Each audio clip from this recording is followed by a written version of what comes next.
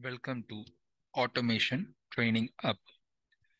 Today's video, we are going to learn how to create a new project in CX Programmer software. So first, we'll open the software. For that, start in the search, I'll type the software name, CX Programmer. So once the software is open, just like any other software, go to File, New. First, it's asking device name. Device name is nothing but a name for your project. So I'm just giving it as test device type. So it, it's asking us to select the controller model. So this uh, CX programmer version uh, 9.7 support this much controller models. So right now I'm choosing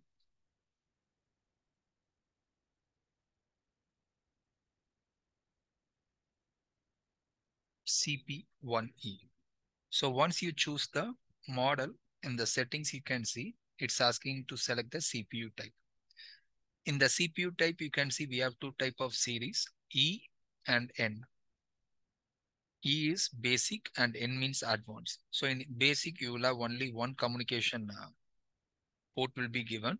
In N, you will have two communication port and that number denotes number of IOs in that controller.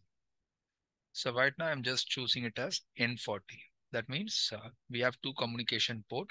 So one I can use it for to communicate with the system. Another port I can use it to communicate with third party devices, maybe a printer or HMI.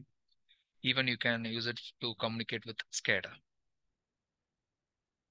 So now I'll just give OK. And you can see network type. So it's asking the communication protocol is USB. So when you choose different controller, according to that, the network type also will change. So now I'll just give OK. So right now our project has been created.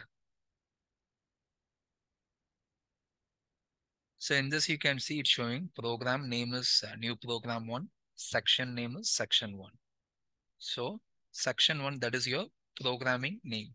So if you want, you can rename also. So I'm just giving it as main. So this page act as a main page.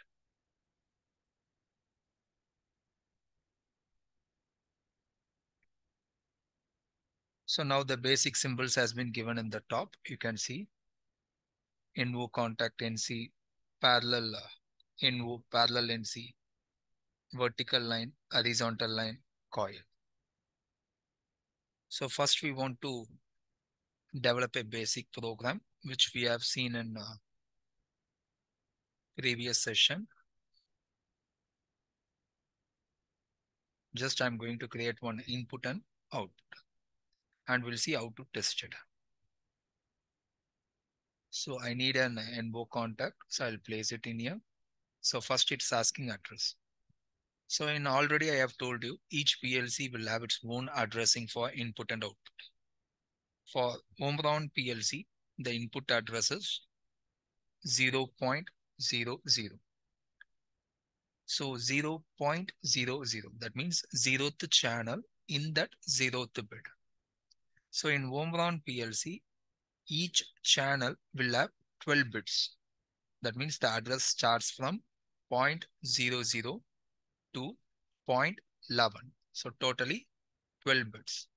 And the channel number is 0. So I'll just give enter. Okay. You can see when you give the address, when you enter, it will ask a comment. If you want, you can give the comment as SW switch. And then you can see in here, this is rank 0. And you can see in here the vertical black line. That is the end of, uh, not end, it is for right rail. So end of uh, each rung. So right now, already we know. So right and uh, right end of the rail, we have to connect the coil. So in the program, either I can place uh, horizontal line, at the end I can place the coil. Otherwise, simply you can uh, place a coil in here. So for output, the address is 100.0. So the channel number starts from 100 for output. So when you given 100.0, automatically you can see that uh, address changes to 100.00 and it's asking comment. So I'll just give the comment as motor. So in uh, output, the channel number starts from 100 and in each channel, how many bits we have now? 8 bits. So 0 to 7. So it is different from input. So in input, each channel will have 12 bits, but in output, each channel will have 8 bits. So if you have doubt uh, in that how many bits now, even you can check uh, in the Omron controller model itself.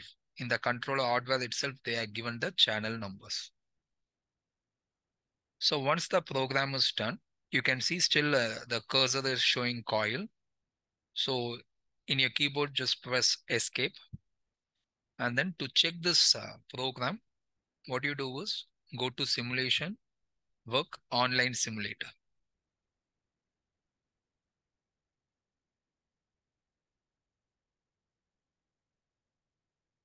And then, so right now we have to trigger the input. You can see it is a invoke contact. So you can see a green color indication. So the supply is uh, holded in here since the contact is open.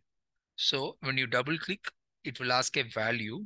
So initially it is open. So the state is zero. Right now I'm giving it as one. So the contact get closed. It will uh, allow the supply to pass to the coil. So your coil will energize. So right now the coil energized. That means the state changes to one. From zero, it changed to one. That status value will be stored now in the address.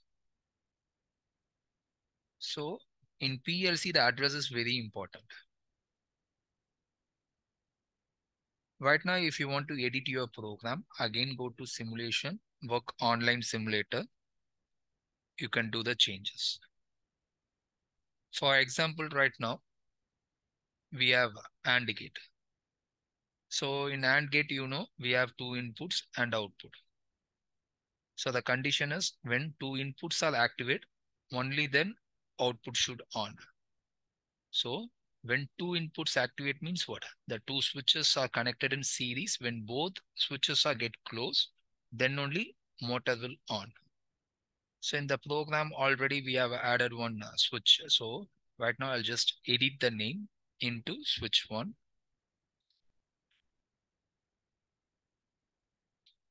And I'll add another one input. So already the input address 0.00 bit has been used. So 0.01.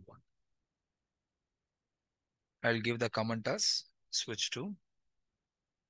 So right now what happens now, when both switches activate, then only motor will on. So right now switch 1 is on. And when switch 2 is on, then only motor energize. Similarly, if I say, if either one input is activate or if uh, both activate, then only output should on. That is OR gate. In OR gate condition, you can see any one input activate, output should on. Or if both input activate also, output should on.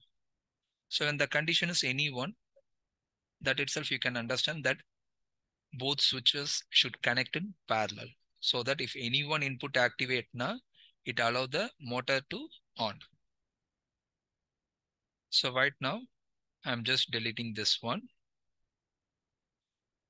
Parallel. So I'll select a parallel invoke contact, place it in here. You can give points one. That is 0 0.1. Automatically the address changes to 0 0.01.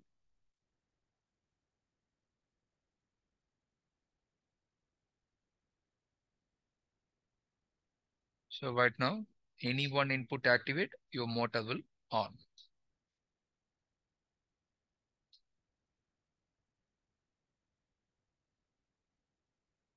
So same way you tried for NAND, NOR,